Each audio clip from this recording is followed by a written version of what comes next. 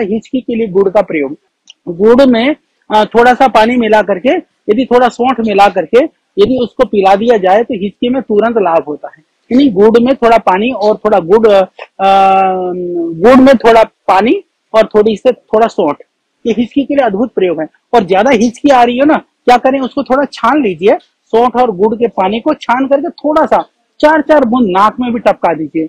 तो उससे एकदम तत्काल हिचकी में लाभ कई बार ऐसा होता है कि हिचकी, भयानक हिचकी आती है। हालाँकि हिचकी की एक औषधि मैं आपको बता देता हूँ, जिसको पता नहीं हो वो दवाई काम कर जाती है। यानी कि हिचकी, जब भयानक हिचकी चल रही होती है तो आप ऐसी शौक की या अनएक्सपेक्टेड स्ट्रेस की बात बता दीजिए। जैसे तो वो तुरंत हिचकी बंद हो बंद हो जाती है। जैसे बचपन में मुझे याद है, हमको एक बार भयानक हिचकी आ रही थी। किसी ने कहा, सुनो, तुमने मेरे यहाँ, मेरे, हम स्कूल के हमारे सहपाठी था, उसको पता था। उसने कहा तुमने मेरी जो है ना, मेरी पेंसिल और मेरी कॉपी चुरवाई है। मैंने कहा, भाई, मैंने तो चोरी करी। ना बोला, नहीं, तूने चोरी की है। तो मैं इतना स्ट्रेस में आ गया, इतने परेशान हो गया। मैंने कहा, भाई, नहीं, मैं तो ऐसा करता ही नहीं हूँ। जब दो तीन बार मैं करता रहा, उसने कहा, नहीं, तूने चुराई हो, मेरे को पक्का पता है। जब बाद में मेरी हिचकी बंद हो गई, मैं झगड़ने लगा, तब तक तो लगा, तेरी हिचकी ठीक हो गई? बोले हाँ।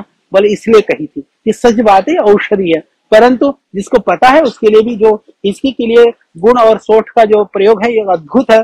साथ साथ में जिनको कफ का बीमारी है गुड़ को वैसे जो पुराना गुड़ होता है, उसको औषधीय रूप में आयुर्वेद में बहुत ही लाभकारी माना गया है तो जितना पुराना गुड़ होता है, औषधीय गुणों से परिपूर्ण माना जाता है, पर पुराना गुड़ करने के लिए आपको क्या करना है? गुड़ को कांच के वर्तमान में आप रखिए।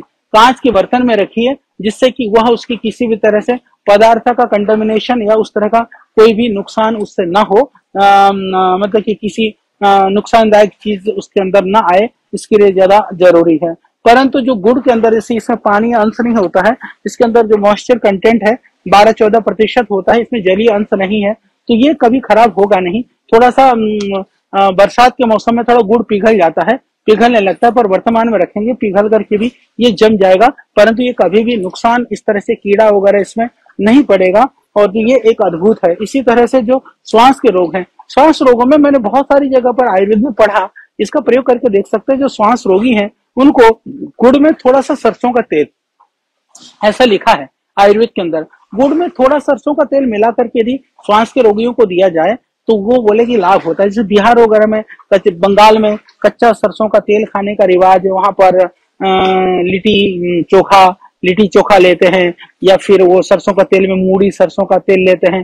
तो मेरे को लगता है कि मूड़ी के अंदर गुड़ और सरसों का तेल थोड़ा मिला कर जैसे वहाँ की विधा है तो ये निश्चित रूप से श्वास रोगों में भी काम करेगा। तो श्वास की जो एलर्जी हाँ सरसों का तेल भी शुद्ध होना ज़रूरी है, गुड़ तो आपके पास शुद्ध आ गया तो फिर भी यदि सरसों का तेल भी शुद्ध होना ज़रूरी है तो वो बहुत ही लाभ करेगा आपके श्वास रोगों में भी।